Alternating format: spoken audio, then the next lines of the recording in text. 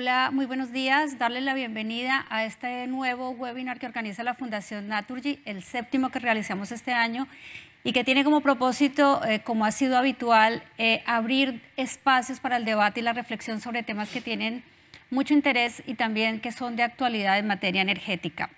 En la sesión de hoy vamos a hablar de la digitalización de las redes eléctricas de distribución y básicamente porque hemos pensado que este tema puede ser interesante en este momento. Como todos sabemos y lo estamos viviendo, estamos inmersos como sociedad en un proceso eh, de transición energética que trae aparejado consigo también la transformación de múltiples y diversos sectores. El sector eléctrico eh, es además por llamarlo así, protagonista dentro de esta transformación. Y por tanto, las redes de distribución son de importancia capital como un elemento eh, de conexión con el consumidor final. El consumidor final, este que cada vez está más preocupado por la eficiencia energética, es un consumidor cada vez mucho, mucho más activo. Si a esto sumamos eh, el despliegue y la penetración de las energías renovables, la necesidad de conexión de recursos de generación distribuida, el autoconsumo, la movilidad eléctrica, eh, la aparición de nuevos actores como pueden ser eh, los agregadores de demanda, pues vemos que cada vez se hace necesario contar con unas redes de distribución eh, mucho más preparadas, mucho más inteligentes, si cabe decirlo de esta manera, y que también puedan ser operadas de una manera muchísimo más eficiente y proactiva en tiempos reales. Cabe destacar, eso sí, que España es uno de los países pioneros en, la, en el despliegue de contadores inteligentes y esto ha permitido efectivamente que se haya avanzado en el proceso de digitalización de las redes. Sin embargo, no podemos desconocer que el sector eléctrico es un sector eh, realmente complejo, que este proceso de digitalización de redes no es sencilla, trae igual aparejado consigo muchos factores que se tienen que tener en cuenta, que hay que considerar dentro del proceso, como es eh, la amplitud de la red de distribución, eh, las barreras regulatorias que aún pueden existir para que su implantación sea la más adecuada. Bueno, en fin, muchísimas eh, condiciones de carácter económico, técnico y regulatorio que tienen que considerarse para que lleguemos efectivamente a un avance gradual en el proceso de digitalización de las redes eléctricas. yo lo que voy a hacer ahorita es darle mejor paso a los expertos, quienes son los que nos van a ilustrar sobre el tema y en el día de hoy eh, contamos, además del Instituto de Investigación Tecnológica de la Universidad Pontificia de Comillas, como autores del informe eh, que estamos presentando hoy, que tienen acá la digitalización de las redes eléctricas de distribución en España, que ya está disponible de manera gratuita en la página web de la Fundación. Este documento ha sido elaborado por ocho autores eh, y en él se analiza ya con mucho más detenimiento y con profundidad ¿Qué es el concepto de digitalización de redes? ¿Cuáles son realmente las barreras o en qué momento nos encontramos para avanzar efectivamente en su implantación? ¿Cuáles son los costes? ¿Cuáles son los beneficios? Eh, ¿Cómo se tiene que acompañar también eso de un proceso formativo? Porque estamos enfrentándonos a un proceso tecnológico de grandes dimensiones y también, como le he mencionado yo, las barreras regulatorias que pueden existir y que faciliten efectivamente esta nueva implantación. Hoy nos acompaña eh, uno de sus autores, estamos con Tomás Gómez, profesor del instituto eh, y autor, como he dicho ya, de la investigación. Tomás va a hacer en primera instancia una presentación del informe que traemos hoy y luego vamos a dar inicio a una mesa redonda en la que además de Tomás nos acompañará Carlos Redondo, subdirector general de Energía Eléctrica del Ministerio de Transición Ecológica, Guillermo Amán, presidente de la Asociación Española de Fabricantes de Bienes de Equipo Eléctricos, AFBEL, Raúl Suárez, director de Redes Eléctricas España de Unión Fenosa Distribución, y bueno, Tomás, como ya lo he mencionado, eh, contaremos para la moderación con Ramón Roca, quien nos acompañará en breve, y también eh, como experto en el sector, ya que es el eh, editor y director del periódico de la energía. Muchas gracias a todos de verdad por estar aquí con nosotros, por abrir un espacio para compartir con nosotros su experiencia y, ponernos un poco más de contexto sobre la situación actual. Y también gracias de nuevo y sobre todo a todos los que se han conectado. Recordarles que esta publicación, al igual que todas las publicaciones de la Fundación, está disponible de manera gratuita en nuestra página web. Bueno, muy buenos días a todos y Tomás, tienes la palabra. Muchas gracias. Muy bien, muy buenos días a todos. Gracias María Eugenia por la presentación. Es un placer estar aquí con todos ustedes presentando el informe sobre digitalización de las redes eléctricas de distribución en España. Este informe, como ha comentado María Eugenia, es un informe que hemos realizado en el Instituto de Investigación Tecnológica por un grupo de ocho investigadores y profesores, digamos, de, dos ramas claramente distintas, pero que en este informe toman plena relevancia ambas, que es la ingeniería eléctrica y la ingeniería de telecomunicaciones. El informe y mi presentación tiene seis capítulos. El primero va sobre la introducción y motivación a este tema. El segundo es la necesidad de digitalizar las redes de distribución en el contexto de transición y de transformación en el que nos encontramos inmersos. El tercer aspecto son los costes y beneficios de la digitalización. Y aquí en el cuarto capítulo vamos a ver los indicadores para medir el grado de digitalización. Esto es algo, yo diría, novedoso desde el punto de vista de lo que contribuye el informe, porque hemos encontrado que es difícil encontrar medidores actualmente y nos arriesgamos a proponer 15 medidores en concreto para eh, facilitar la comparación entre empresas, la comparación entre países, en cómo vamos avanzando en la digitalización de las empresas distribuidoras. El quinto capítulo va sobre competencias digitales y necesidades formativas, aspecto clave también en la transformación de las empresas a la hora de buscar mano de obra y formar la mano de obra actualmente en las propias empresas. Y finalmente, como no puede ser de otra forma, acabaremos con políticas y recomendaciones regulatorias, ya que nos encontramos fundamentalmente ante un sector claramente regulado como es el de las redes.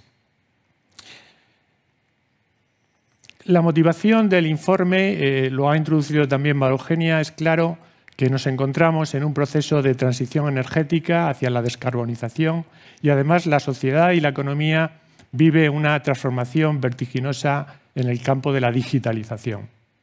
Desde el punto de vista de la digitalización, es importante entender que no solo es una transformación de tecnologías, aparatos, equipos, comunicaciones, sino también implica una transformación importante a la hora de gestionar las propias empresas desde el punto de vista de los procesos, de planificar recursos futuros y en el contexto general de lo que es la sociedad, pero también las propias empresas, lo que llamamos la cultura digital.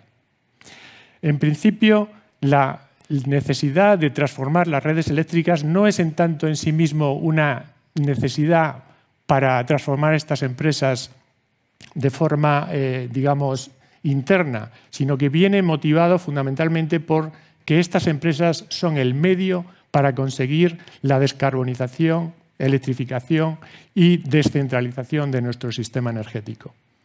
Los tres pilares que vamos a ver siempre en el proceso de digitalización los hemos clasificados en sensores y actuadores, conectividad desde el punto de vista de las comunicaciones, pero finalmente lo más importante es el tratamiento y la gestión de datos con inteligencia. Esto es lo que hace que realmente la digitalización suponga una verdadera transformación. Desde el punto de vista de los, equipos, existen y de las tecnologías, existen una amplia variedad. En el informe pueden encontrar una clasificación y definición bastante exhaustiva y también cómo la madurez tecnológica de estos equipos es muy desigual. Hay equipos, por ejemplo, los medidores inteligentes, que afortunadamente en nuestro país pues han pasado ya a una etapa de madurez total, porque es un despliegue comercial y prácticamente total. Hay otros equipos, por ejemplo, otras tecnologías como los gemelos digitales, que es algo pues, que realmente a nivel de redes de distribución pues, todavía tiene un amplio desarrollo, sobre todo por la parte de las redes de baja tensión y los transformadores, que están muchísimo menos simulados, caracterizados, y, ahí hay un montón de trabajo por hacer. Luego también hay que tener en cuenta que la digitalización de este tipo de empresas o de este tipo de redes tiene eh, desafíos muy particulares. Uno de ellos es la extensión de las redes, la extensión de las redes de distribución en comparación con lo que clásicamente hemos llamado las redes de transporte, que son mucho más reducidas en, amplitud, pues por ejemplo en España hablamos de redes de transporte del orden de unos 20.000 kilómetros. En redes de distribución hablamos de cerca de un millón de kilómetros. Realmente la extensión de estas redes el número de aparatos y de equipos que tienen es enorme y por tanto todo esfuerzo de digitalización debe ser cuidadosamente planificado y adaptado a las necesidades de acuerdo con la madurez progresiva de las tecnologías. Otro de los aspectos importantes es la ciberseguridad. La ciberseguridad es, un aspecto que se está demostrando que con la digitalización tiene una relevancia total. Y desde ese punto de vista es importante, como vamos a ver después en, los siguientes capítulos, hacer un esfuerzo por eh, en qué medida la ciberseguridad afecta tanto a los costes como a los riesgos de estas empresas. Desde el punto de vista de costes y beneficios, la digitalización reporta claramente beneficios para las propias empresas. Las empresas van a poder reducir sus costes operativos, van a poder mejorar la gestión de las pérdidas, llamemos pérdidas técnicas y pérdidas comerciales, y también una mejora de la calidad en el suministro eléctrico y de atención al cliente. Desde el punto de vista de los usuarios, es un campo completamente por abrir. La digitalización desde el punto de vista de los usos energéticos significa una transformación muy importante desde el punto de vista de los usuarios, desde el punto de vista de lo que la regulación europea demanda como usuarios activos, comunidades energéticas, generación renovable dentro de las propias instalaciones de los consumidores. Todo este modelo necesita la modernización y digitalización de las redes. ¿Por qué? Porque las redes es la puerta de entrada al mercado. Las redes es la forma de entrar a ese mercado y la conectividad a las redes es fundamental. Entonces, para conseguir estos beneficios para estos usuarios necesitamos la digitalización. Y finalmente, la sociedad en su conjunto, a, través de lo que es el proceso de transformación energética, el desarrollo tecnológico, los fabricantes de equipos, eh, empresas de comunicaciones, todo esto es un, eh, digamos, beneficio adicional de la digitalización de las redes eléctricas de distribución. Por otro lado, no deben infravalorarse los costes. Los costes son muy importantes. A pesar de que equipos de forma individual pueden ser de, coste reducido, lo que hemos hablado de la dimensión del problema y el número de, de equipos que tenemos en las redes, hablamos de millones de ellos, pues tienen unos costes agregados altos. Y por otro lado, es importante también la transformación de la naturaleza de estas inversiones. Típicamente las empresas eléctricas han realizado inversiones en lo que llamamos activos tradicionales, transformadores, líneas eléctricas, y desde el punto de vista de las nuevas eh, necesidades, desde el punto de vista de, la digitalización, exige herramientas de software, eh, eh, todo el tratamiento de la ciberseguridad y desde ese punto de vista eh, esta naturaleza de los costes es importante reconocerla a la hora de eh, los marcos retributivos de las empresas. Es claro que eh, la digitalización va a ser progresiva. Hemos dicho que la madurez de las tecnologías es muy desigual, pero siempre debe estar guiada desde el punto de vista de las propias empresas, pero también desde el punto de vista de los reguladores que van de alguna forma a a reconocer esos costes, debe ser una, evaluación que debe basarse siempre en análisis coste-beneficio. Los análisis coste-beneficio deben introducir las incertidumbres relativas, tanto por un lado a los beneficios no monetizables, a la madurez de las tecnologías y las economías de escala y también a todo aquello derivado, como comentábamos al principio, de la ciberseguridad, por costes y riesgos derivados de ella. El capítulo dedicado a los, medidores del grado de digitalización, claramente cuando entramos a analizar este problema nos dimos cuenta de la dificultad que tiene en sí mismo. Había distintos indicadores de muy diferentes aspectos y naturaleza, con muchos grises y varias dimensiones difíciles de comparar. Y por otro lado, los que hemos encontrado fundamentalmente se basan en evaluar el grado de digitalización de determinados activos. Aquí, en esta transparencia, pues hemos puesto el grado de digitalización que tenemos en el despliegue de los contadores inteligentes. Este despliegue podemos estar orgullosos en España de que prácticamente pues es un despliegue al 99% realizado por todas las empresas distribuidoras del país. Otro, otro aspecto que hemos visto es estudiando el Joint Research Center, el, observatorio de distribuidores que tiene en la Comisión Europea, pues un aspecto que allí se, se monitoriza es el grado de control remoto que tienen las subestaciones primarias. Este grado, eh, para un conjunto de empresas distribuidoras, cada una de estas barras son diferentes empresas distribuidoras, pues es en la actualidad muy elevado, prácticamente el 100% todavía quedan empresas que están en este aspecto monitorizando este tipo de subestaciones. Pero también se observa a través de estos puntitos es el número de subestaciones que tienen las empresas distribuidoras. Y esto es un grado muy interesante de conocer. En, en Europa tenemos cerca de 2.200 empresas distribuidoras entre grandes y pequeñas grandes tenemos, mayores de 100.000 clientes tenemos del orden de 200.000, pero claro, el número de equipos, perdón, mm, mm, del, orden de 200, pero el número de equipos de subestaciones que tienen es muy desigual entre ellas. Por lo tanto, la escala que tenemos ahí es una escala logarítmica y demuestra las diferencias que hay entre estas empresas distribuidoras. La contribución que hemos hecho en, este aspecto dentro del informe, y pueden, encontrar con, más detalles en el mismo, es que hemos clasificado 15 indicadores eh, agrupados en las cuatro dimensiones que, hemos establecido para lo que es la introducción de la digitalización en las eh, redes eléctricas. En lo primero, sensores y actuadores, pues, por ejemplo, aquí ponemos tanto por ciento de contadores inteligentes desplegados, el número de elementos con telecontrol en puntos de la red, en conectividad, en comunicaciones, tanto por ciento de subestaciones primarias y tanto por ciento de centros de transformación que tienen banda ancha, el tanto por ciento de, dispositivos que establecen comunicación con la red de distribución, desde el punto de vista de tratamiento de datos, el porcentaje de red observable directamente o mediante estimaciones de estado, el porcentaje de elementos de red con gemelo digital.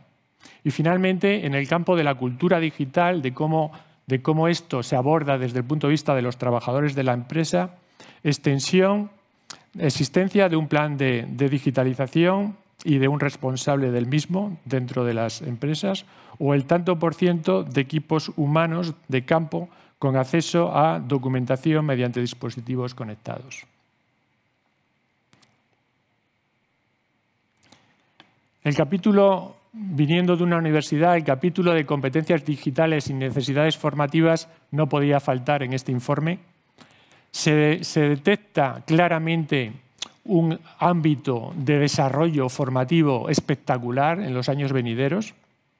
Esta formación, desde el punto de vista concreto ya de la digitalización de las redes eléctricas, debe de abarcar todas las especializaciones y a todos los niveles empezando, si queremos, por la formación profesional especializada, pasando por la universidad y llegando con másteres especializados, por ejemplo, y llegando a una formación continua de los propios empleados de las empresas in situ, digamos, en el, lugar de trabajo. Esto es algo que se demuestra claramente como un aspecto eh, crítico a la hora de modernizar de verdad las empresas desde este punto de vista. También las necesidades formativas no son solo dentro del ámbito tecnológico, también están las habilidades green and soft, que se llama, que son habilidades del tipo social, de tipo de gestión económica y de tipo también de género. Sabemos todos que en el sector eléctrico o llamemos en general en el sector energético, la cuestión de género es una cuestión en la que tenemos que trabajar de forma activa durante los próximos años. Las necesidades formativas es claro que deben evolucionar con el grado de madurez de las tecnologías, con el grado de desarrollo. Ahí hemos puesto un cuadro donde dependiendo del grado de implantación y del grado de madurez, pues detectaríamos necesidades de formación de corto plazo, ligadas, por ejemplo, con plataformas digitales, ciberseguridad, necesidades más de medio plazo, donde aquí estamos hablando ya del IoT, del mantenimiento de, equipos eh, para hacer control predictivo, alargamiento de vida, o también eh, aspectos de, investigación y desarrollo, francamente, porque todavía la madurez en estas tecnologías pues, es muy, muy limitada. Eh, por ejemplo, tecnologías de blockchain o de inteligencia artificial aplicado en los distintos procesos. El último capítulo incide en cuáles son las barreras regulatorias que tenemos que ir resolviendo para que la digitalización pueda penetrar claramente y a un coste eficiente. No hay que olvidar que la regulación siempre está eh, en la idea de buscar un coste eficiente para la sociedad. Y aquí hemos distinguido dos capítulos. El capítulo de lo que son barreras para digitalizar la forma de participación de los consumidores en los mercados, los mercados energéticos en general, en particular en el mercado eléctrico. Y ahí claramente el paso que se ha dado con los medidores inteligentes es clave. Ahora la, directiva europea hace mucho hincapié en los consumidores activos y las comunidades energéticas. Estos consumidores van a instalar generaciones, generación propia de renovables, van a instalar almacenamiento en el futuro, van a gestionar sus equipos cada vez más electrificados relativos a los distintos usos en los edificios. Y aquí toma especial relevancia todo lo que es la gestión de datos. La gestión de datos que se hace desde las propias empresas está, por un lado, sujeta a régimen, digamos, al régimen de privacidad. No se puede hacer nada sin la autorización de los consumidores. Requisitos de interoperabilidad para que el mayor número de agentes permitidos puedan acceder de una forma eficiente a esos datos y, por otro lado, dinamizar la competencia en productos y servicios. Todo esto va a beneficiar a los consumidores y va a beneficiar a la sociedad en su conjunto. Desde el punto de vista de las empresas, es necesario que el nuevo entorno de digitalización se incluya claramente y de pleno derecho dentro del marco retributivo de estas empresas. Entonces, en este aspecto, hemos clasificado una serie de lo que llamamos los impactos de digitalización en, los propios costes y operativa de las empresas. Por ejemplo, estos activos, en general, si los comparamos con los activos convencionales, como son transformadores, líneas, tienen una vida útil más reducida y un, rango de, un, riesgo de obsolescencia tecnológica mucho más alto. Las nuevas herramientas de software deben ser eh, incluidas dentro de los planes de negocio para mejorar la gestión de la red, basadas, por supuesto, en la digitalización, en las comunicaciones y en la flexibilidad, que también es un aspecto nuevo, sobre todo para las redes de distribución, que explicaré un poquito más adelante.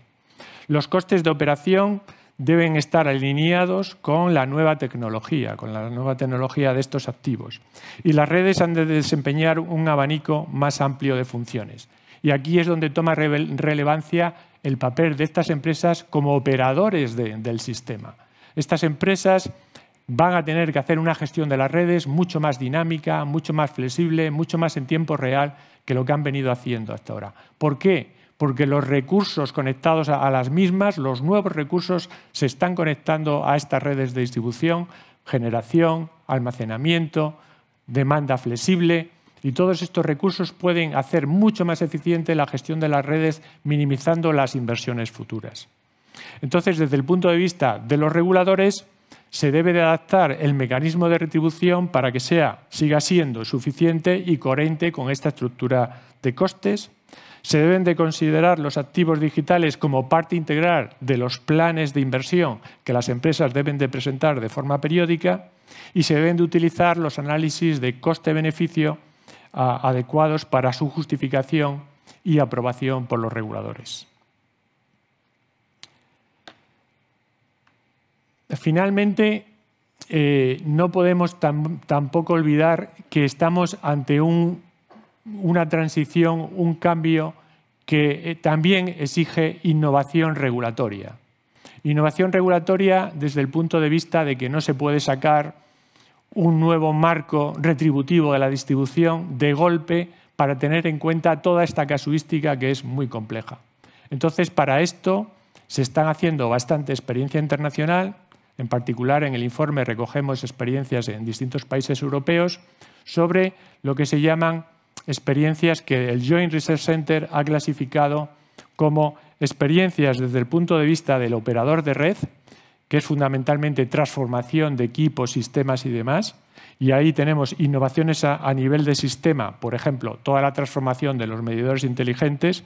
Esto es lo que se llama eh, iniciativas para el despliegue de las tecnologías, pero también hay ya una larga tradición de proyectos piloto, que incluso nuestra propia regulación ya considera, para eh, innovar en determinadas zonas con determinados equipos aspectos relativos, por ejemplo, al control de tensiones en las redes, a la monitorización de las pérdidas en determinados sitios, a la mejora de la calidad.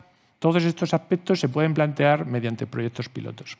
Y desde el punto de vista de dar un paso más e incluir lo que es verdaderamente lo necesario, que es la transformación del mercado, ahí hay nuevos servicios y productos que las empresas distribuidoras, como operadores del sistema, deben de ofertar a los consumidores conectados a esas redes, consumidores u otros agentes del mercado. Y desde ese punto de vista hablamos de proyectos de piloto regulatorio que ocupan, por ejemplo, todo un país, donde se va a hacer una demostración desde el punto de vista regulatorio de una determinada tecnología, o proyectos de sandbox que están más acotados, limitados, tanto en el tiempo como en el espacio, para implantar eh, específicos proyectos regulatorios donde hay exenciones regulatorias para poder eh, implantar durante un tiempo acotado y bajo unas pautas concretas eh, nuevos desarrollos regulatorios. Bueno, con esto termino. Eh, muchas gracias a todos por su atención. En el enlace que tienen ahí pueden descargar el informe de forma gratuita y quedo también a disposición o cualquier otro miembro del equipo para preguntas en, el futuro. Y ya sin más por mi parte, doy, la, palabra a, Ramón Roca. ¿Qué tal, Tomás? Si quieres, puedes sumarte a nuestra mesa de debate que vamos a tener ahora para hablar sobre todo lo que rodea lo que es la digitalización de las redes eléctricas de distribución. Aparte de Tomás, que eh, ha explicado a la perfección cómo es eh, este, este sector y cómo puede avanzar en los próximos años a través de este informe que ha realizado la Fundación Naturgy, a la que quiero agradecer que cuente conmigo una vez más para eh, moderar estos interesantísimos debates y, también, eh, como no, al IET de, la Universidad de Comillas por realizar este informe que ha sido muy exhausto y, que ha dado, yo creo que muchas claves. Eh, para hablar de todo ello, eh, tenemos con nosotros a don Carlos Redondo, que es subdirector general de Energía Eléctrica del Ministerio de Transición Ecológica y Reto Demográfico. Muy buenos días. Buenos días. También está con nosotros eh, a la derecha de, Carlos está don Raúl Suárez, es director de redes eléctricas en España de Unión Fenosa Distribución. Muy buenos días. Buenos días. También eh, don Guillermo Amán, presidente de la Asociación Española de Fabricantes de Bienes de Equipos Eléctricos, AFBEL. ¿Qué tal? Muy buenos días. Y como no, Tomás, al que ya eh, le habéis escuchado, Tomás, muchas gracias. por todo. Bueno, yo quería recoger, ya que al final de, esta intervención eh, eh, de Tomás hablaba sobre la, eh, pues, qué hay que tocar en la regulación o, qué políticas hay que realizar o, llevar a cabo en los próximos años. ¿Qué valoración hacéis sobre el informe? ¿Cómo me podréis, ¿Qué me podréis decir de cuáles son los próximos pasos que creéis que son eh, claves para, para, el futuro del desarrollo de la digitalización en las redes. Si quieres, Carlos. Ah, bueno, pues empiezo yo. Si está, en primer lugar, dar las gracias a, la Fundación Naturi por organizar eh, este evento y también al Instituto de, Investigación Tecnológica por el estudio que yo creo ponen el foco en algo que bueno, igual pues no, está tan, de tan rabiosa actualidad como otros elementos de, de la política energética estos días, pero sí que es importante y, es importante la, digitalización de las redes, eh, pero bueno, es, es un elemento, como, como explicaré a continuación, eh, por el que probablemente vaya el futuro del sector y de la, de la regulación del, del, mismo, lógicamente, para, para acompañarle ¿no? a, esta transformación.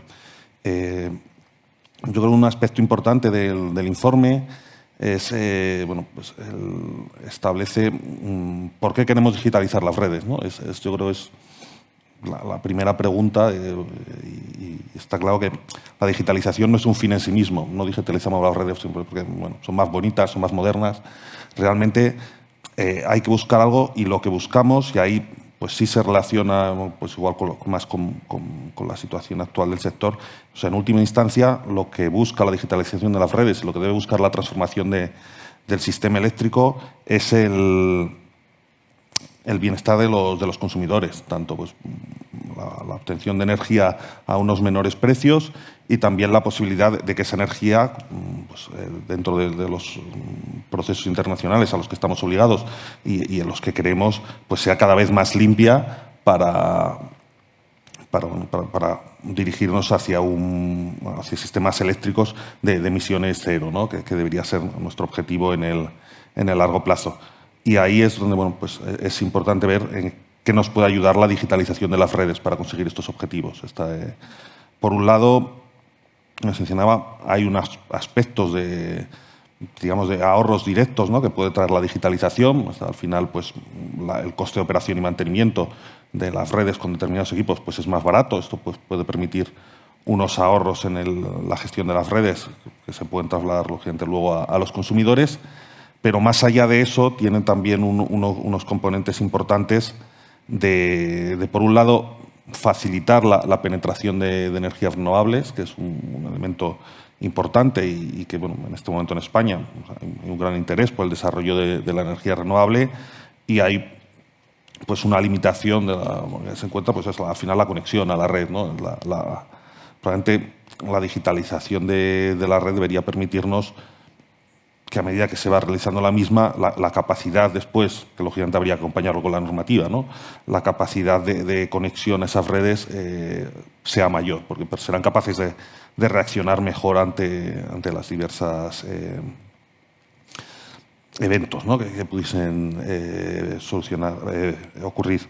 Y después también, y, eso yo creo que el informe lo deja muy claro, y es otro elemento muy importante, lo que va a permitir la digitalización de las redes es sobre todo la, un cambio del rol del, consumidor en el sistema eléctrico, ¿no? lo que vienen ya desde hace bastantes años las directivas europeas marcándonos el camino de esa necesidad de que el consumidor sea, sea un agente activo del sector, no sea simplemente se limite a, contratar con un comercializador, a consumir y a, pagar luego la factura, sino que pueda hacer más cosas ¿no? y pueda ser partícipe también incluso de este cambio ¿no? de, que nos, eh, en el que estamos inmersos dentro de la transición ecológica para bueno, ser un agente más, poder participar con su propia generación renovable, que esa generación eh, renovable pues, puede integrarse en la red de la mejor forma posible y, bueno, y participar en los distintos eh, aspectos del sistema. Entonces, yo creo que esas tres patas al final es, lo, que a, lo que a priori pues nos, nos ayuda a la, digitalización y, con los objetivos que no debemos perder de vista a la hora de, plantear este proceso de, digitalización de la, de la, red de distribución.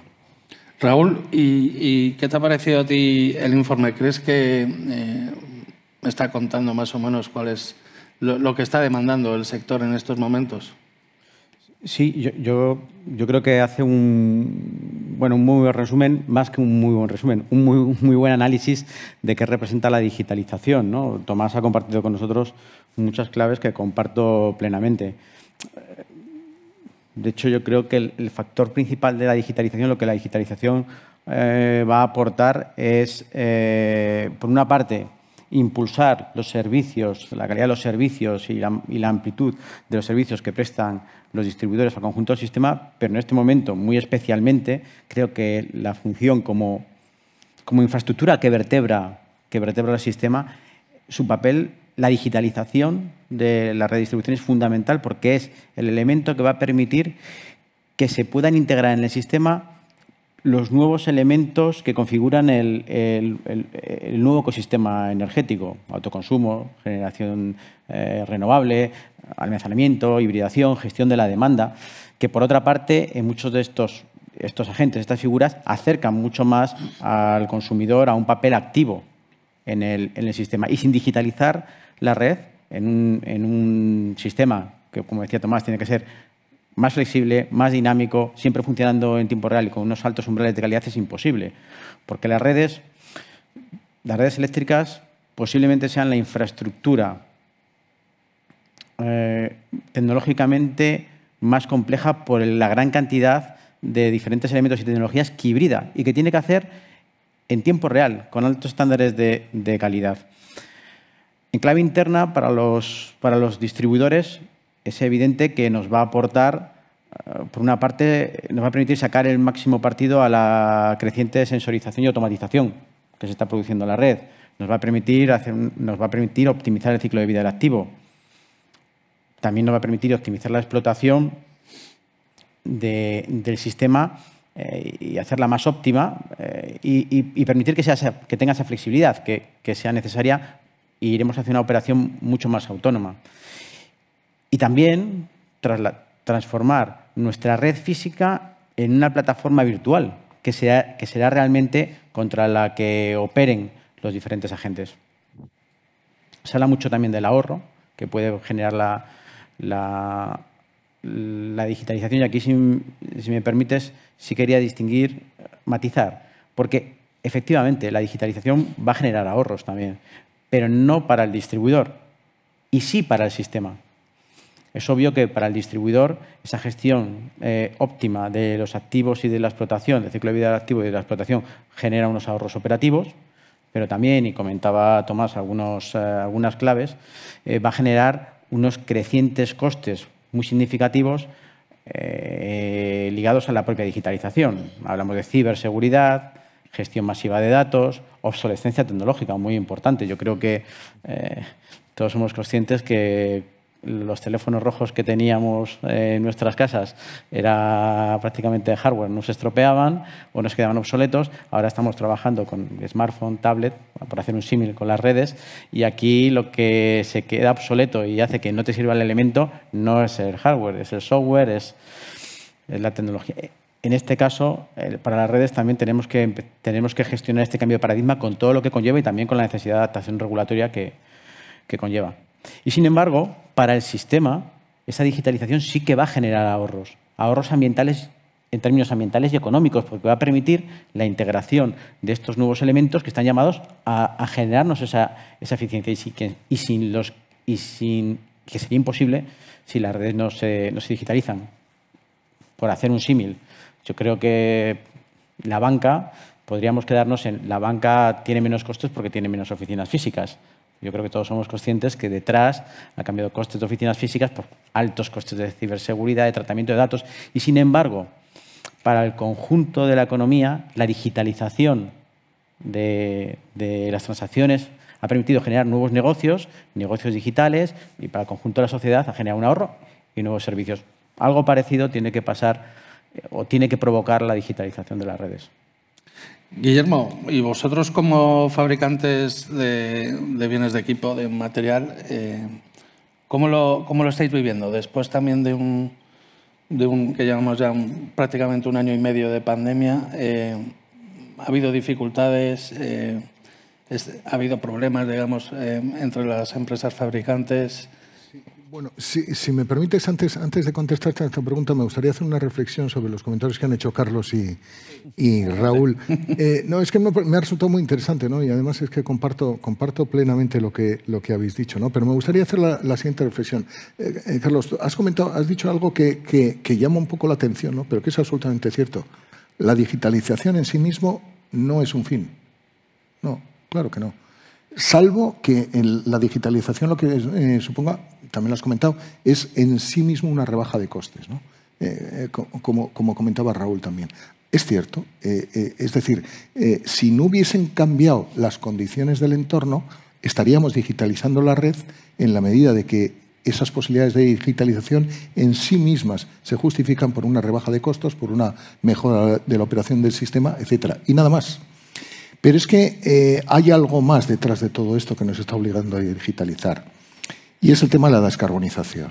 Eh, bueno, en, Europa se habla de las cuatro grandes Ds, ¿no? de descarbonización, eh, descentralización, digitalización y democratización. Eh, yo esas cuatro Ds las pongo siempre en, niveles diferentes, porque creo que son totalmente distintas. la primera D, la descarbonización, es que es una necesidad imperiosa de la humanidad Es decir, tenemos que descarbonizar eh, nuestra economía porque el cambio climático es una realidad y, por tanto, es eso es una obligación, es una necesidad. por ahí tenemos que pasar todos. En esa descarbonización, el sector, la electricidad ha demostrado ser el vector energético que es más susceptible de descarbonizarse, con lo cual eh, queramos o no, la economía se va a ir electrificando con objeto de poder incidir en esa, en esa descarbonización, como muy claro lo tiene nuestro Ministerio de, Transición Ecológica. ¿no? Bien, y ahí vienen las, las, consecuencias, ¿no? lo que viene detrás, que son las siguientes Ds. ¿no? Eh, la democratización es una voluntad política que existe en, la, Unión Europea desde el nuevo paquete de medidas y en nuestro gobierno eh, lo ha tenido muy claro desde, el principio. Ese empoderamiento del, consumidor va a suponer una, democratización del sistema. Y luego vienen las consecuencias las otras veces. La descentralización en sí mismo no es un objetivo, ni muchísimo menos, sino que es una de las posibilidades. Bueno, parece que es eficiente el hecho de centralizar la generación y tenerla cerca del consumo y parece una opción eh, eh, eficiente. Y aquí viene la cuarta D de la que estamos hablando hoy, que es la digitalización. Y la digitalización, para que se produzca todo eso, es que es una necesidad. Aunque, como bien has dicho, Carlos, no es un fin en sí mismo más que solamente en lo que reduzca costos, es que sería inviable el poder tener un sistema descentralizado con una economía electrificada en la que tenemos puntos de recarga de vehículo eléctrico, puntos de almacenamiento, eh, eh, prosumidores que son capaces de generar y de, y de consumir. Todo eso es inviable si no tenemos un sistema digitalizado. Bien, ¿y cuál es la perspectiva? Y voy a tu pregunta, perdona por la introducción tan larga. Eh, eh, ¿Cuál es la perspectiva de los fabricantes españoles? Bueno, pues eh, afortunadamente en este sector tenemos un, sector de fabricantes en España potente potente desde, el punto de vista, aunque no, aunque no seamos tan grandes como, como, podemos pensar en grandes empresas americanas o, de, otros, de otros continentes, en España tenemos un sector muy potente desde el punto de vista de, la tecnología, de las tecnologías que hemos desarrollado eh, por nosotros mismos y desde el punto de vista de la capacidad que tenemos y de la competitividad que tenemos, porque realmente estamos compitiendo en, no solamente dentro de nuestras fronteras, sino en toda Europa y en, y en todo el mundo. Tenemos un sector con, capacidades de producción importante, no solamente en lo que es el hardware, sino en todo el software que lleva asociado y en todos eh, los elementos que conlleva la capacidad o la posibilidad de digitalización de, de las redes y que, bueno, pues hemos vivido como, como, pues como toda la sociedad, ¿no? una situación durante el último año y medio eh, convulsa, eh, por el hecho de que de la disrupción importantísima que hemos tenido en nuestras cadenas de producción, por, por, las circunstancias que hemos vivido todos, pero que, que en realidad eh, no hemos tenido un impacto importante desde el punto de vista de, de, nuestra, de nuestra facturación o desde el punto de vista del volumen de mercado, porque eh, las redes, tanto en España como en, nuestros mercados naturales, que es eh, Europa, Iberoamérica y para algunos también otras partes del mundo, las redes han seguido mm, tirando de nosotros porque mm, eh, durante toda esta situación de pandemia ha habido una preocupación muy especial por parte de las compañías eléctricas de distribución de mantener sus redes en, condiciones. Imagínate que hubiera sido durante el confinamiento, eh, los peores, los meses más duros que vivimos el año pasado, que hubiera sido el tener eh, cortes de luz o el tener problemas importantes de disrupciones de servicio en el sistema. Nuestras compañías eléctricas han estado muy sensibilizadas para que eso no, no suceda y, por tanto, se han encargado de seguir invirtiendo y seguir manteniendo las redes en unos niveles de calidad de servicio importantes muy importantes porque creo que lo tenemos en España desde hace muchos años. Y entonces en ese escenario realmente el, mercado en el que nosotros nos movemos no ha tenido una disrupción importante desde el punto de vista de, volumen del mercado. Lo ha tenido desde el punto de vista de fabricación, desde el punto de vista de cadenas de suministro, desde el punto de vista que estamos viviendo ahora de, una vorágine de, alza de precios de, las materias primas, pero en definitiva los problemas industriales con los que vivimos eh, no habitualmente han sido circunstancias especiales pero a los que sí hemos estado capacitados para responder. Por seguir esta línea de debate, eh, ¿qué grado de, eh, digamos ha tenido la, digitalización de las redes para superar esta pandemia dentro del sector? Eh, ¿Hasta qué punto el trabajo que se ha hecho en el pasado pues de aplicar contadores inteligentes, etcétera, ha ayudado a llevar mejor la pandemia tanto a las compañías como a, los consumidores? Yo, yo diría que creo que las redes de distribución, los distribuidores españoles, son un caso de éxito clarísimo a nivel europeo. Eh, tenemos la suerte y el orgullo ¿no? de contar con, con, unas empresas de distribución que son best in class a nivel mundial. Eh, sin ir más lejos, el ejemplo que poníais de los contadores digitales. En España, el despliegue de los contadores digitales, que son un elemento esencial, por no decir que el elemento esencial que permite eh, que las redes inteligentes eh, se desarrollen y puedan integrar el resto de agentes, porque supone la frontera de las redes con los nuevos agentes y con los consumidores para permitir que puedan ser activos, vehículo eléctrico, autoconsumo, gestión de la demanda, lo finalizamos hace tres años, 2018. Hay países europeos, eh, Alemania, Inglaterra, Francia, que aún no lo han finalizado y todavía les quedan años.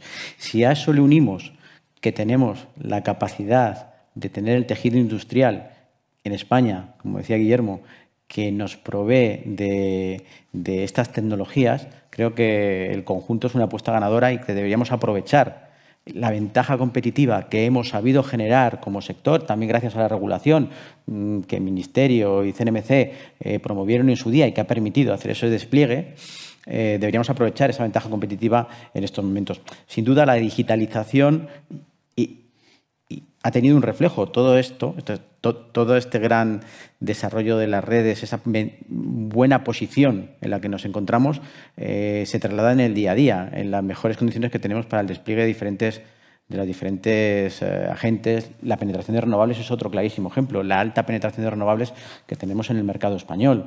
Eh, yo creo que son casos evidentes de, que el desarrollo tecnológico de las redes en España, ese diferencial, mejor desarrollo, ha permitido eh, un mayor desarrollo de este tipo de agentes. Y la pandemia lo ha vuelto a demostrar. El nivel de calidad de servicio, eh, la nula afección de todas las distorsiones que se han producido en industrias, servicios, eh, imposibilidad de operar eh, físicamente los activos porque no era posible. claro, cuando no tienes esa necesidad porque has podido hacer una gestión digital más autónoma, más, más automatizada, más sensorizada de la red, ahí se ha puesto el valor en valor el servicio de la, digitalización eh, al servicio de los ciudadanos. Creo que en la pandemia no ha habido ni un solo problema de suministro a los ciudadanos ni en ninguna de las infraestructuras críticas como la sanidad que se ha necesitado para poder desarrollar eh, o, atender ¿no? las necesidades que teníamos los ciudadanos en este momento de, crisis. Y te puedo poner dos ejemplos en el cómo durante la pandemia o durante los peores momentos, vamos a ponernos en el peor de los, de los momentos, cuando entre los meses de, marzo y, mayo del, año pasado, dos ejemplos prácticos de cómo la digitalización ha contribuido. El primero, que ningún señor tuvo que entrar en nuestra casa a leer un contador, que es algo que nos ha pasado desapercibido, pero que es una, es una realidad. Y eso es posible, como dice Raúl, porque en España tenemos un despliegue de contadores inteligentes que prácticamente es el 100% de, de, los contadores. Y el segundo, eh, eh, no nos podemos imaginar eh, la infraestructura que lleva detrás, y específicamente la infraestructura eléctrica, montar, por ejemplo, un hospital de campaña como los muchos que se montaron en toda España. Para montar un, hospital de campaña tienes que tener la capacidad de alimentar eléctricamente ese hospital, que no es ninguna broma. Eh, bueno, durante esos meses se instalaron centros de, transformación y se hicieron salidas de, subestaciones para alimentar esos centros de transformación, que fue posible hacerlo en tiempo récord porque los hospitales se montaban de la, noche a la mañana, posible hacerlo eh, en tiempo récord por el hecho de tener una red que ya empieza, empieza a estar suficientemente digitalizada para poder maniobrarla, operarla y reconfigurarla de manera que eh, todo ese sistema pudiese en tiempo récord eh, ensancharse y dar nuevos puntos de, suministro. Yo quería poner, un poco, no tanto la pandemia que, parece que está pasando, sino yo creo que el futuro, ¿no? mirar un poco al futuro de hacia dónde va o cuál es el papel de las redes. Yo diría en un escenario que cada vez se está manifestando más relevante, que es los acontecimientos derivados del cambio climático, es decir, los eventos extremos y la necesidad de tener lo que se llaman redes resilientes. Entonces, este es un aspecto que, claramente diferencia mucho a unos países de otros. Por ejemplo, en Europa nosotros tenemos redes subterráneas en la mayoría de las grandes ciudades, en los pueblos, en muchos sitios, la red está subterránea. Eso frente a eventos meteorológicos es clave para mantener la seguridad de suministro. El otro aspecto importante que tiene que ver con la digitalización es la observabilidad de la red. Tú ahora, con los contadores inteligentes, con todos los procesos de gestión de datos, de grandes bases de datos, puedes saber perfectamente qué contador y qué suministro tiene o no tiene energía y cuál es el problema y dónde está localizado y puedes actuar en cuestión de, horas. Esto eh, es un tema que empieza a ser cada vez más relevante con los recursos distribuidos. Es decir, el día, ahora estamos trabajando en cómo vamos a mantener islas funcionando de forma autónoma. Es decir, tú el día que tengas generación distribuida en distintos lugares, almacenamiento, puedes mantener islas funcionando, imagínate, en periodos donde ha habido una, catástrofe, que es lo que, lo, que ha pasado, por ejemplo, eh, en estos tiempos de atrás, ¿no? en Texas. Entonces, yo creo que ahí se abre claramente unas necesidades de digitalizar, porque esto al final es gestión de, información, gestión de datos muy relevante para lo que se nos viene encima, que vamos luchando contra el cambio climático, pero los, eventos meteorológicos desastrosos cada vez van a ser más frecuentes. ¿no? Entonces, esto es, un, esto es un gran tema. O sea, hay muchos proyectos y, y mucho trabajo en esa línea. ¿no? Sin duda, y esa línea de futuro eh, tendrá que ir de la mano eh, acompañada por una de las grandes patas de los fondos europeos, que es la digitalización, que eh, aparte de la transición energética, la digitalización es una de las patas clave. Y, creo que bueno, pues, en este caso pues, se juntan los, dos sectores, ¿no? la transición energética y digitalización en este ámbito de, de la distribución. ¿Cómo veis desde el Gobierno el, desarrollo de, este sector con estas ayudas, estas líneas de ayudas eh, de los fondos europeos, cómo se pueden aplicar en los próximos meses o, años. Sí, ahí desde, bueno, desde que se empezó a hablar en, de la llegada de los fondos europeos y se empezó la reflexión interna entre los distintos ministerios de dónde se, podrían destinar esos fondos, dónde podrían ser más útiles, yo creo desde, pues, desde la, la, Secretaría de Energía y desde la Dirección General, una cosa que yo creo que vimos clara desde el principio es que eh, estos fondos en el, podían ser una oportunidad muy importante para el campo de la digitalización de las redes, especialmente de la, de la red de distribución. Y, y, de hecho en esa línea estamos, estamos trabajando y bueno, prevemos poder sacar en las próximas semanas, espero, un, ya audiencia un borrador de Real Decreto de, ayudas para digitalización de, redes. Y, el proceso que hemos tenido para elaborar este Real Decreto pues, eh, coincide en muchos aspectos con, cosas que decía el informe, ¿no? de cómo al final esto es una actividad eh, distinta, con la, distribución pues, tiene sus propias peculiaridades y encajar esas peculiaridades con la, con la gestión de las ayudas pues no ha sido fácil, ¿no? porque cuando hablábamos con, nuestra subsecretaría o con, Hacienda, con los organismos responsables del reparto de los fondos europeos, nos costaba explicar la idea que tenían ellos es que bueno pues esto se abre una convocatoria de eh, pública de, ayudas de subvenciones se hace un, concurso se presentan proyectos y se, y les da el dinero para llevar a cabo los proyectos.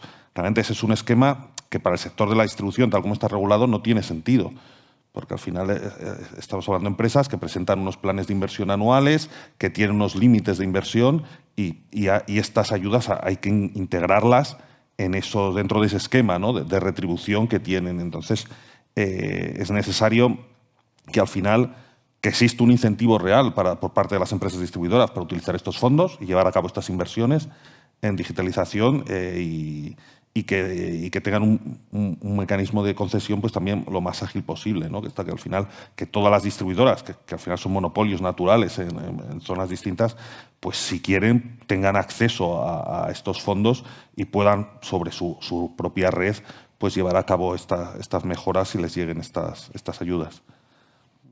No sé si querías comentar algo. Yo creo que la necesidad de, inversión en redes es evidente después de todo lo que hemos comentado. Eh, de hecho, el propio Plan Nacional Integrado de Energía y Clima eh, reconoce que serían necesarias, son necesarias de, 2020 a 2030 eh, aproximadamente 23.000 millones de euros de inversión en redes, de los que el 45% deberían ir destinados a digitalización. Actualmente el límite regulatorio que tenemos establecido, la proyección de ese límite regulatorio nos lleva a un torno de unos 14.000, 14.700 millones de euros, eh, que sería la inversión máxima permitida a las distribuidoras. Por lo tanto, hay un gap de inversión necesaria, fundamentalmente en digitalización, que hay que cerrar, ¿no? Carlos, este puede ser un mecanismo, eh, pero es que además de que este puede ser un mecanismo para, la inversión, creo que, hay que poner en valor eh, que la inversión en redes, además de todas estas ventajas, por la posición de ventaja competitiva sectorial de la que partimos en España, puede generar una ventaja eh, eh, competitiva sólida y estable, real, de nuestra industria respecto a nuestro entorno europeo. Porque si tenemos la suerte de ir avanzados en digitalización y tenemos la suerte de tener el tejido productivo eh, industrial en España, deberíamos también aprovechar, no solo para digitalizar las redes con toda la ventaja que tiene, sino para generar empleo, que además las inversiones en redes son muy capilares eh, y generan empleo y dinamización económica de forma inmediata, que creo que lo necesitamos como país, pero además generar una ventaja industrial competitiva estable que nos permita que el empleo de estos fondos, además, eh, bueno, pues genere una oportunidad para las generaciones futuras, eh, que es un poco el espíritu de los fondos Next Generation, realmente, ¿no? Poder hacer esto. Y creo que las redes, seguramente otros sectores también, pero el de las redes de distribución es indudable que nos lo pueden, nos lo pueden permitir. ¿Cómo se han de distribuir esos fondos? Eh, ¿Cómo se han de acceder? Bueno, supongo que las claves las dará el Ministerio en este, en este borrador de, Real Decreto. Nuestra visión es que, eh, bueno, fundamentalmente debería ser el acceso a esta financiación a la industria, que tiene que desarrollar los equipos y los componentes y quizás tenga menos acceso a la financiación, no tanto las, las grandes distribuidoras, que lo que necesitamos es tener pues, un marco regulatorio claro, posibilidad de invertir más, porque ahora mismo vemos todos esa necesidad y si se nos permite, eh, lo haríamos. ¿no? Y sí que lo que tenemos que encontrar es la respuesta en, el mercado, en el tejido industrial, eh, para poder hacerlo. ¿no? Y quizás ahí también simplemente poner el, acento en que quizás también parte de esas ayudas tengan que ir a, a, los que tienen que seguir el ritmo, ¿no? Porque quizás los que están, los que tienen eh, la, obligación o, eh, eh, los que tienen que hacer un papel tractor, creo que ahora mismo estamos totalmente dispuestos a, hacerlo. Lo que sería un error sería no aprovechar estas, estas ayudas. Claro, efectivamente. Si es que, vamos a ver, tal y como lo habéis dejado muy claro, Carlos y, Raúl, vamos a ver, tenemos el, el, escenario perfecto para que se produzca una, una realmente una eh, actualización y una eh, optimización de, nuestras redes. Que bien es cierto que tenemos un nivel de calidad altísimo en, nuestra red, pero es que los retos que vamos a tener en el futuro próximo son cada vez más, eh, más tentadores.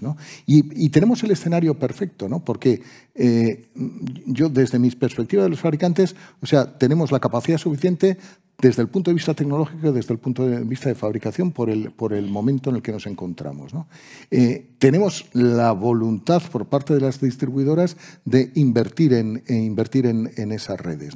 Y tenemos la necesidad de producir esa digitalización. Es decir, el marco es el, marco es el, ideal y el perfecto para que se produzca ese, ese despliegue y esas inversiones que están, que están reflejadas en el propio PENIEC. Eh, en, este momento, bajo mi punto de vista, el único cuello de botella es la, regulación. ¿no? Ese techo máximo que tenemos en, en las inversiones del 0,14% del PIB, que se, eh, eh, se, eh, subió en, una centésima durante en, 2002 con el tema de la pandemia por la bajada del PIB, pero que, no es suficiente. ¿no? A todas luces no vamos a llegar a los objetivos reales que podemos tener en 10 años vista de cuál tiene que ser el estatus de, la red en el, en el año 2030 si seguimos a los niveles actuales de, inversión. ¿Los fondos Next Generation pueden ser una, una oportunidad? Eh, por supuesto que sí, puede ser una oportunidad específicamente para los temas de digitalización y ese Real Decreto será muy bien bienvenido. ¿no? Pero es que necesitamos el, actualizar la regulación ahora todo es smart, pues también necesitamos una smart regulation. Necesitamos eh, eh, actualizar los conceptos. antes lo citabas tú, Raúl, de, la adaptación con, el tema del, software, ¿no? la obsolescencia del software. Claro, es que evidentemente el, software es algo que al de tres años, cuatro años, no sé, X años, que no tiene nada que ver con la vida útil de, los equipos, pues es necesario ir renovándolos. ¿no? Entonces, es necesario tener el marco regulatorio que reconozca esas, inversiones para poder haciendo esas cosas. Los fondos Generation, bienvenidos sean. Eh, serán un punto eh, en este momento eh, que coyunturalmente van a poder dar un empujón. Pero más allá de ese empujón que podemos tener coyuntural, es necesario tener el marco regulatorio que realmente esté adaptado a la realidad tecnológica de lo que tenemos que meter en las redes y no por capricho, sino por necesidad. Cuanto más electrifiquemos, más tenemos que digitalizar la red y más inversión necesitamos. Bueno, yo, voy a poner el énfasis en, la eficiencia. Es decir, yo creo que la digitalización está aquí para quedarse y es la única alternativa a estos negocios. Realmente es el camino de invertir en el futuro. Es, eh, hay que invertir ahora en digitalización y, no en esta digitalización, sino en la digitalización que viene, que todavía incluso eh, está por, por desarrollar porque no la conocemos. Entonces yo insistiría un poco en la sostenibilidad de largo plazo de este tipo de empresas y de negocios. Es decir, que existe una coyuntura, que son los fondos de recuperación, que debemos de aprovechar, que hay, que hay riesgos claramente en estos negocios de inversión, porque hemos hablado de que son tecnologías poco maduras y demás. Pero lo que tenemos que empezar a pensar es que el modus operandi sostenible de la regulación tiene que cambiar para que fundamentalmente se reconozcan los costes y los beneficios derivados de la digitalización. Es decir, no tanto el que tenemos un techo de gasto, tenemos que seguir invirtiendo, tenemos que hacer más gastos, más... No, o sea, lo que hay que hacer es, tenemos una tarifa, tiene que ser sostenible, tenemos unos costes asociados a estas redes que tienen mucho de depreciación, mucho de, de activos tradicionales, pero ahora eso tiene que cambiar sustancialmente. Entonces yo creo que la regulación de verdad, paso por paso, debe apoyarse en análisis coste-beneficio que deben de tener en cuenta costes, beneficios y riesgos. Y para esto se exige un esfuerzo importante por parte de las empresas, por parte de los reguladores y por parte también de los métodos que utilizamos. ¿no? no es una hoja Excel que llegas allí, presentas y, oye, que estos son millones que me tienes que pagar. Yo creo que eso tiene que cambiar sustancialmente. Y es el momento de empezar a pensar. Ahí están los ambos regulatorios, están eh, cuestiones para no poner todos los huevos en la misma cesta, pero, pero a mí sí me parece que este es un reto importante que tenemos todos. ¿Alguno recoge el guante?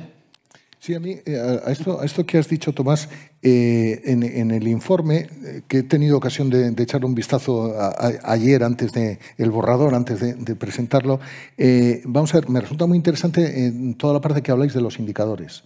creo que habéis hecho un, un trabajo muy importante de algo que en, en este momento eh, va a estar ya regulado por ley porque existe la Directiva Europea de Electricidad, ya establece la necesidad de poner en marcha unos indicadores que ven el grado de evolución de la red, de la digitalización de la red, y esa Directiva Europea se está transponiendo y se va a transponer en, España, aunque ha habido algún problema de traducción que no ponía el tema de los indicadores, pero bueno, ya está solucionado.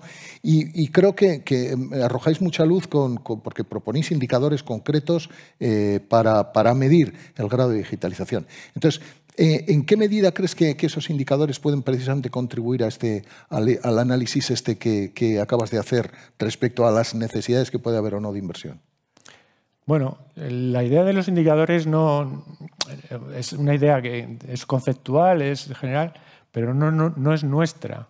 La idea de los indicadores viene de la Comisión Europea y de las reuniones que tuvimos con el Joint Research Center. Nosotros fuimos con el Joint Research Center el pusimos en marcha lo que se llamó el DSO Observatory, que es eh, un observatorio que se publica cada tres, cuatro años y empezamos con indicadores del tipo pues cuántos transformadores, cuántas líneas, cuántos para conocer las 2.200 empresas que realmente tenemos en Europa de distribución.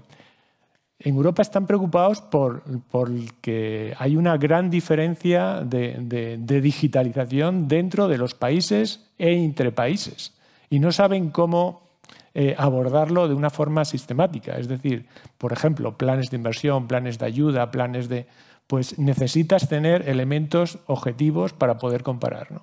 Entonces, eh, estamos en línea. Es decir, nosotros los indicadores estos, mm, vamos, estaba pensando el otro día que, nos vamos a ir al Joint Research Center para que de alguna forma se traten de estandarizar a nivel europeo, porque es, es una parte muy importante de luego la gestión de recursos, la gestión de programas, la gestión de...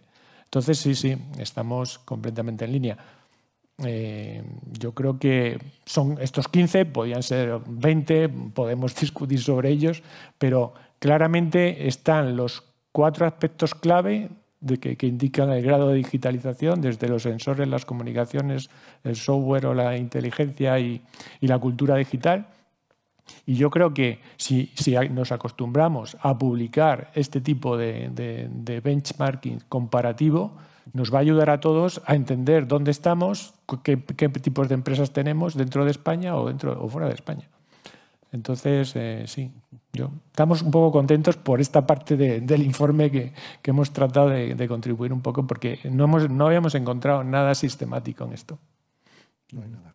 Muchas gracias por... Os decía que si alguno queréis recoger el guante por el asunto regulatorio, eh, bueno, Carlos. Igual no, como me, toca más, directamente a mí, eh, sí que es cierto, que, y yo creo que está reflejado en el informe, que la, o sea, en todo el, del aspecto regulatorio hay, muchas patas que tocar, o sea, tenemos mucho trabajo pendiente de, transposición de la directiva, para empezar, esta de, para facilitar todos estos mm, nuevos modelos que debe permitir la, la digitalización, vemos bien esta, esta mayor participación de los consumidores en los mercados, de, nuevos negocios de, flexibilidad y también eh, pues la parte de, tener instrumentos, con lo que mencionaba, se menciona también en el informe, a través de, proyectos pilotos o de, o de sandboxes para, para poder desarrollar la regulación un poco de forma anticipativa, ¿no? No, no esperar a que, como nos suele pasar, pues la regulación es lo último que llega, ¿no?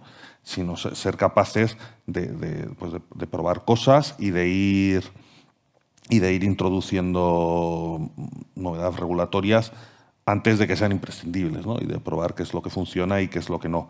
Y dentro de esos cambios, algo que yo creo que, que probablemente, y, enlaza con otras cosas que se han mencionado antes, un aspecto que probablemente mm, yo creo no, no es inminente, ni porque los esquemas de retribución del sector de la distribución son relativamente recientes, de, 2019, pero sí que mm, no veo que dentro de 10 años la, retribución de la distribución sea igual que ahora. O sea, es algo que tiene que cambiar. Y yo creo que, que sí que se refleja claramente en el informe, ¿no? que, está, que no es de las prioridades que igual que, que tenemos ahora mismo, pero sí que es algo que, no se puede perder de vista, esa necesidad de que se transforme la, retribución del sector para permitir y, acompañar esta transformación, ¿no? que, es, que es imprescindible. Y puede ser también, esto bueno, pues lo un poco como, como idea, eh, pues también puede ser un objeto pues de, algún eh, tipo de, prueba regulatoria, de algún sandbox, eh, algún, la posibilidad de, de jugar ¿no? un poco con, estos esquemas retributivos de, del sector, que después son muy complicados, porque al final eh, llevar cambios aquí, como pues cuando salió la, la circular distribución, muy complicado, pues es un sector muy grande, con, con muchos agentes distintos de tamaño, unos muy grandes, otros muy pequeños, y, bueno, hay que hacer unos esquemas de retributivos que funcionen para todos y que además también garanticen bueno, que, el suministro eh, a los consumidores pues tampoco se, se dispara, ¿no? los, los costes. Entonces, bueno, es, algo que, ya igual no tan inminente, pero sí que yo creo que debemos, tenemos que tener como, reflexión de cara al futuro. Está, querías simplemente apuntar, desde mi punto de vista, en el corto medio plazo, eh, y se han comentado algunas de ellas, ¿no? cuatro claves regulatorias. La primera, se ha comentado, es eh, desde mi punto de vista, bastante obvio que hay que aumentar el límite de inversión. En la fórmula que se ve adecuada, pero hay que aumentar el límite de inversión porque hay una necesidad clara de invertir en digitalización, más o menos lo que estamos invirtiendo hoy el límite vendría a reponer el activo electrotécnico, básicamente, y está claro que hay que hacer un plus de inversión si queremos poner las redes que, sean el, catalizador del nuevo ecosistema energético.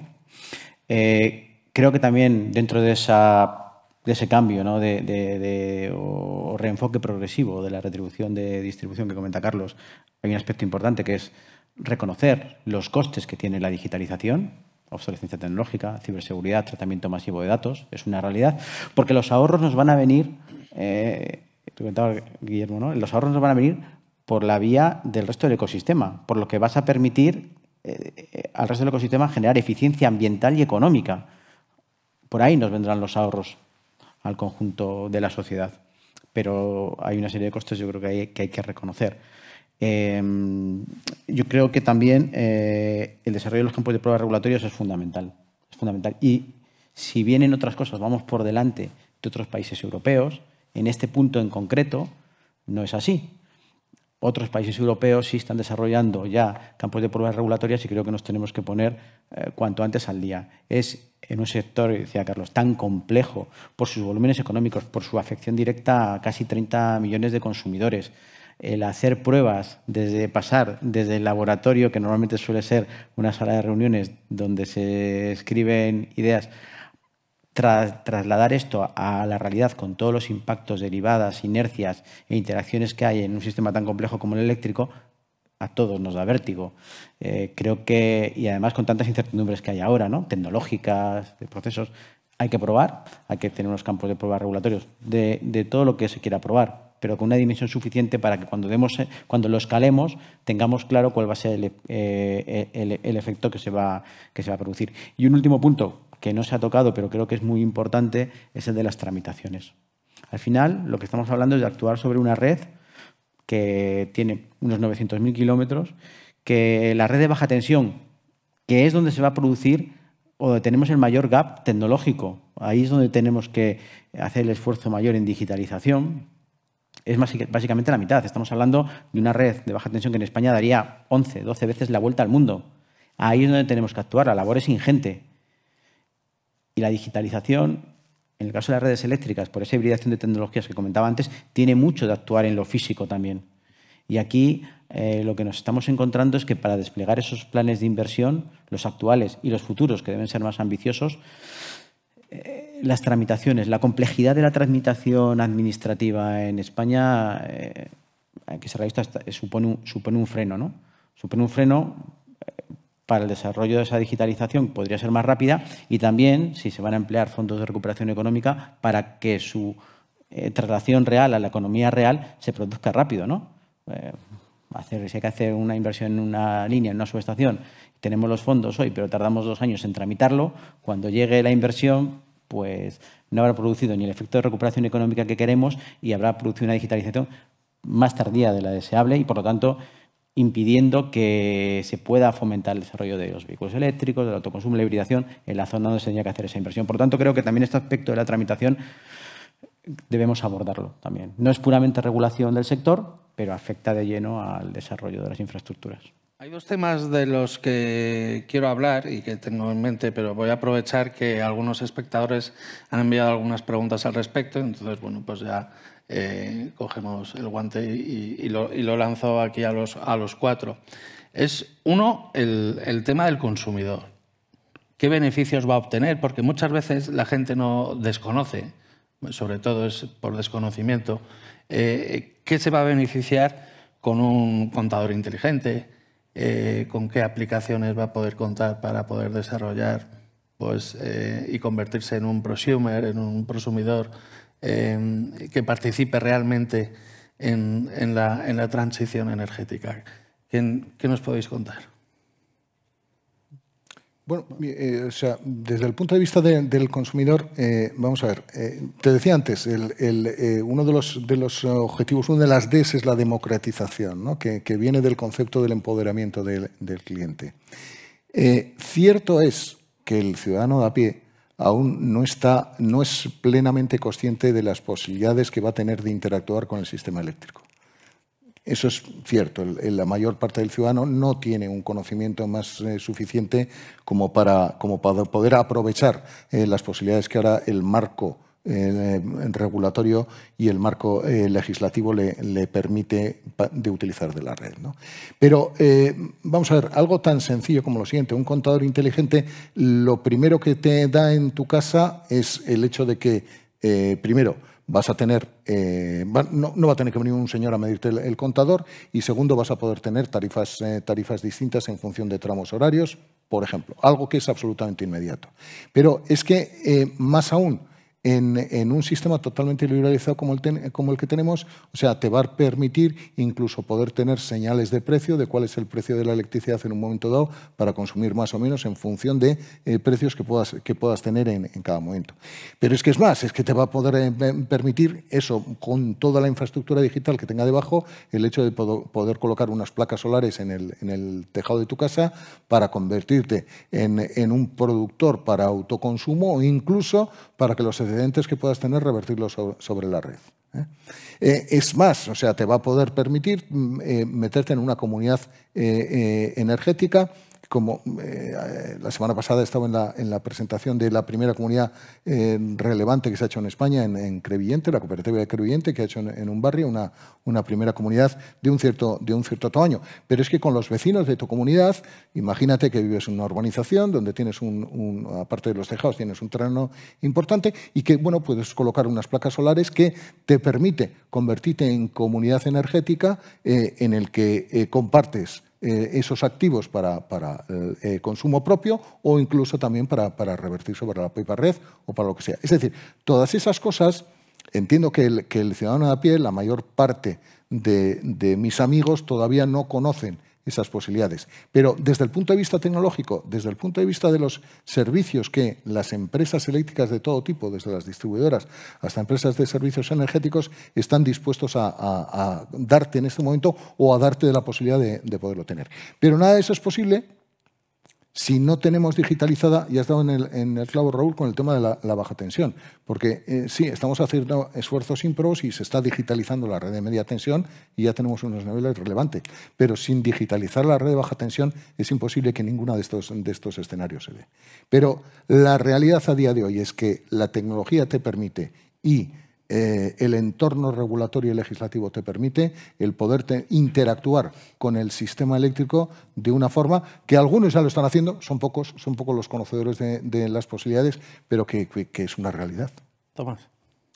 Yo, voy a empezar diciendo lo que dicen los reguladores europeos y se llama RASPE, que es Reliability, Affordability, Simplicity, Protection and Empowerment.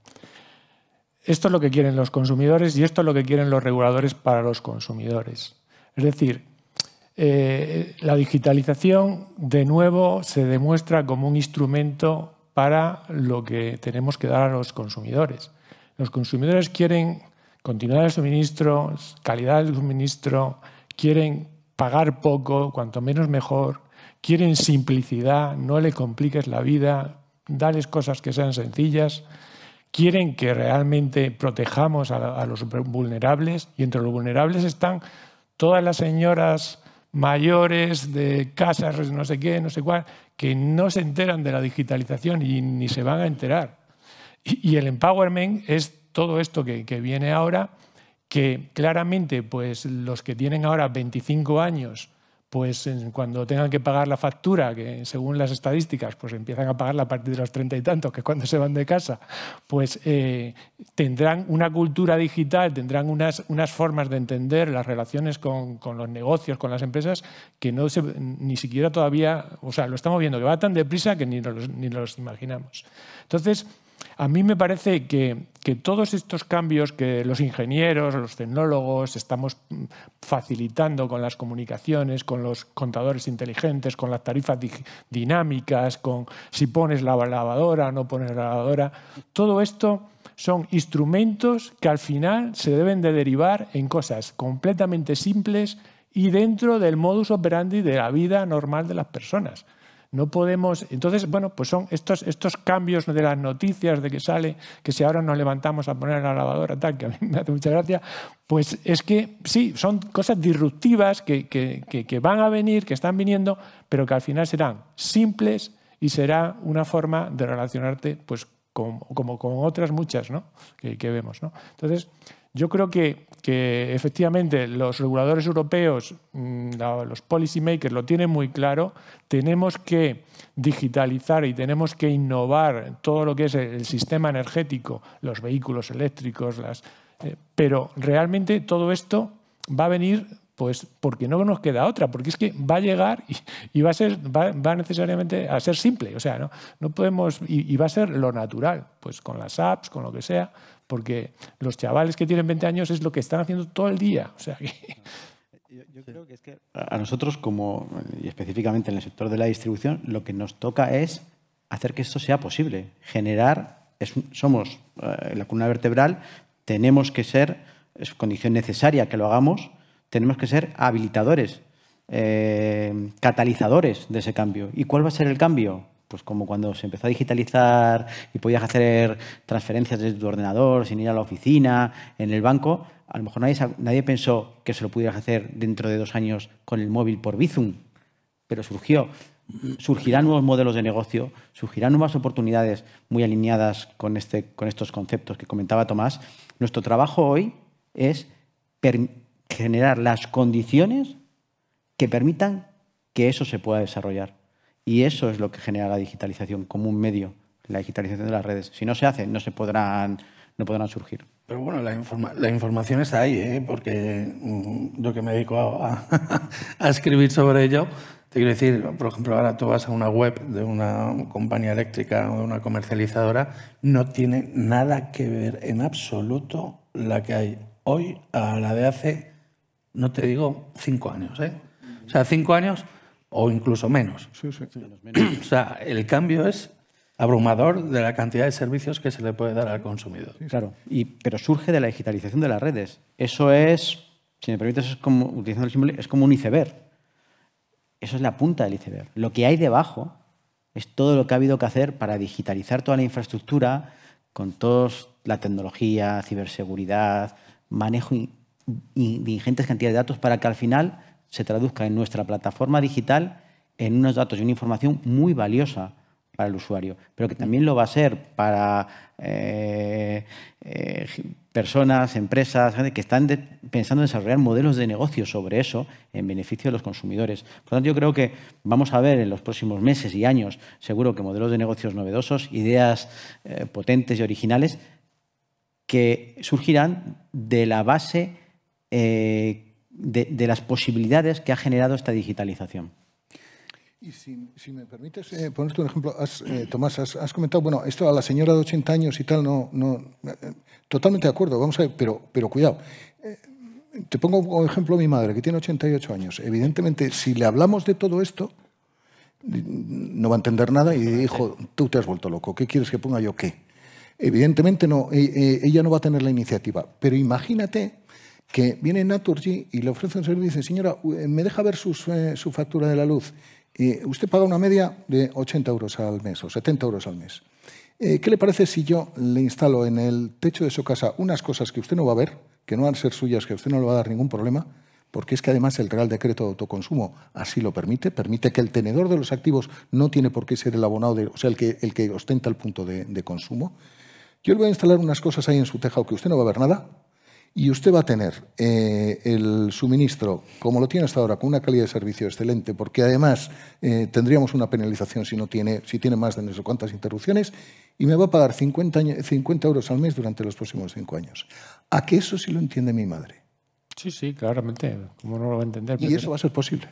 Oye, se nos está acabando el tiempo. Una cosita que quería hablar es el tema de la ciberseguridad. Hay una pregunta que ha hecho un espectador que me parece bastante interesante.